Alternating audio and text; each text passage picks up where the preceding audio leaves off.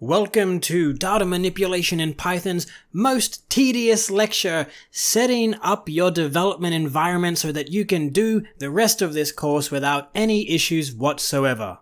I will endeavor to run through this section as quickly as possible. I've broken it down into three sections like normal, installing Python, coding editors, and then how to manage your files so that you don't lose any of the work that you've put in whilst doing this course, or future courses, or future projects.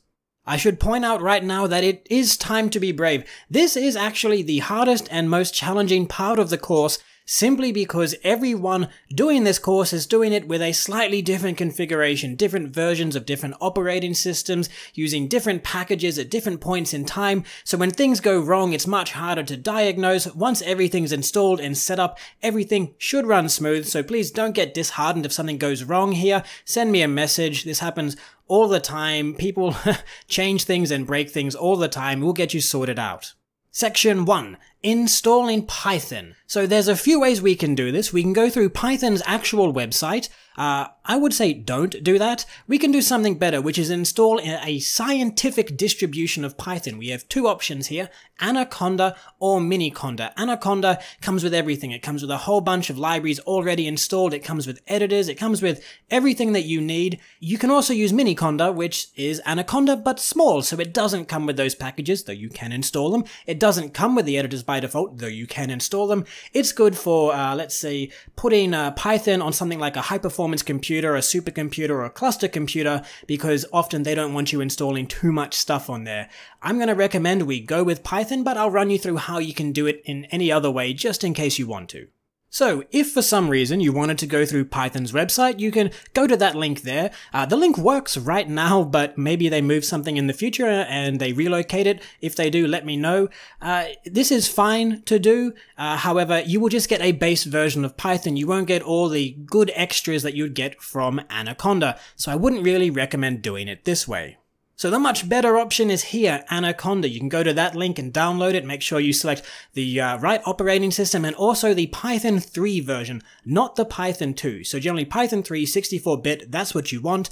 Anaconda comes with libraries, uh, Conda, and virtual environments. Virtual environments are absolutely huge. Let's say you're doing deep learning and one of your projects requires TensorFlow to be a very specific version and you have a different project on a different version. Absolutely no worries with virtual environments. You install them both in separate environments and you swap between them as you will. Absolutely no issues there. The only potential downside you could say of Anaconda is it is a large download, 600 megs or so. For those of you with a good internet connection, you're probably laughing, 600 megs, that isn't much. I'm sitting here in Australia and that takes me about half an hour to download, so it's almost a concern, but I would just say go with Anaconda. And here's the link for Miniconda if you want it. Here's the link as as it works right now. It's smaller and faster. You can download this simply as a bash script, like a very large bash script, put that onto a supercomputer and just run and it'll install locally. Uh, it's useful if you're on a supercomputer. You, if you've used one before, you probably know that they have a selection of modules that are pre-installed and you can't go in and change those. If you want certain packages, you have to install them into your local user folder. If you want to do other things and compiling code, pain in the ass. Uh, Miniconda solves a lot of those potential issues. It doesn't come with any of the bells and whistles, but if you don't need them, why not? Alright, so at the end of this lecture, I'm going to run through a live install of Anaconda and using the editor that we'll pick, which is Jupyter Notebook, spoiler alert. Uh, if you decide to just go ahead and do it yourself anyway, and you install it, you can verify it that it's installed correctly a few ways on Windows. Open Command Prompt on Mac or Linux, you open Terminal, and you run Python dash capital V. The capital V says give me the version of Python, don't actually launch Python, and it'll tell you uh, where it's installed, what version it is, and it should say like an Anaconda install.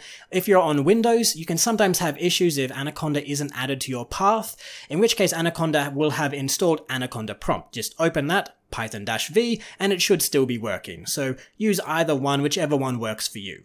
Alright, let's change track just for a little while and talk about the different editors you can use to code in. I've put four relatively popular options here. There are obviously an absolute ton. If you already use one and you're comfortable with it, don't feel the need to change to what I'm using for this course. Uh, just do what you're comfortable with. The four options I've got here are IDLE, Spyder, Jupyter Notebooks, and PyCharm. Let's get into the details right now. So the first option we have is idle. It's the editor that comes bundled with Python, and I despise absolutely everything about it. It's not interactive, it doesn't really have completion, uh, it opens files in separate windows. You can see what it looks like on the right there. It's, uh, uh, it's incredibly painful to use. So let's just move on. Now for a real option, Spyder. Spyder comes bundled with Anaconda. I don't know if it will continue to come bundled. Uh, Anaconda and Spyder used to be partnered. That's now no longer the case, but it's still there. Uh, it is an interactive environment. That means it's an IPython environment. So you can see on the right, you can embed plots, not just text output. Uh, it's good for a small number of files. You can have multiple files open. You can press F5 and run them or just type code into the right hand panel. It's super useful. It has IPython give it a shot if you want. Another great option for IPython and interactive coding is Jupyter Notebooks. This also comes bundled with Anaconda, which is why I'm recommending it. I will note that as of the time of uh, recording this, there is Jupyter Labs as well, which is essentially an improvement upon notebooks, a better way of structuring and running them. You can give that a look if you want. It, it doesn't at the moment come bundled with, but they have essentially the same functionality once you're inside and coding. It's the file management stuff that's a little bit different. You can see on the right that it's interactive just like Spyder, but it is cell-based. So Spyder is file-based. You have a file and you run the file. Here in Jupyter, you have cells and you can execute each cell independently. So that's really handy uh, if you're just uh, essentially mucking around with code and doing something sequentially, just for example, doing data analysis, which is what we're going to be doing and which is why we're going to be using Jupyter Notebooks in this course. Or at least I am. You can do what you want.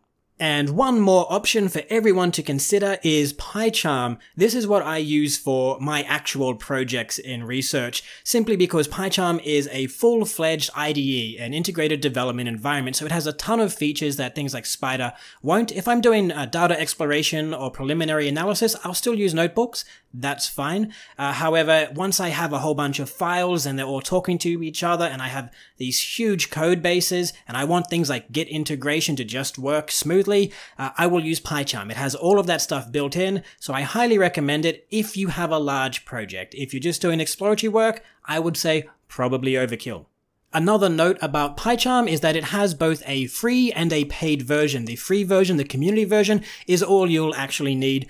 Uh, the paid version comes with extra goodies, but it's more focused towards, let's say, web server development and fun things like that.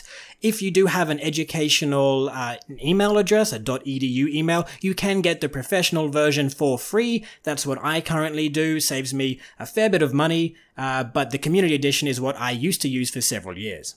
One final thing before we jump into the live install is file management. This is actually surprisingly important because the number of people that lose work because they haven't managed their files properly and done backups or put it out online is quite large and no one wants to be that person that has to go talk to their supervisor or their colleagues and say, hey, that work that I promised you had a hard drive failure and now it's all gone, so sorry about that. So we have a few ways of mitigating potential disasters. One of them that I see some people use is just manual backups. You have an external hard drive and every now and then you just copy and paste your work folder over. Please don't do that. If you want to back your things up, I recommend using something like Git, a version control system that's used everywhere in the industry. It's free. Uh, get a GitHub account, put all your code on GitHub, make it open source. Great for your resume. Any recruiter is going to be looking at your GitHub. If for some reason you don't want to do that, and please, please, please, please just do that. If you use something like PyCharm, it does also keep track of your local file history so that even if you screw around with the file, you can right click and say show local history and it'll show every edit you've done over the past month or so. But I would say please, the moral here is just Learn Git before starting any sort of project that you care about. Alright, so let's now jump into the live Anaconda install. You can follow along on the video. If uh, it moves too fast or you get tired of pausing or waiting, I also wrote up an online guide that you can see on that link. It's on my personal website. I wrote that uh, actually a little while ago, but everything should still uh, be current and up to date. If you have any issues with this step, like I said, please just let me know and we'll debug it together.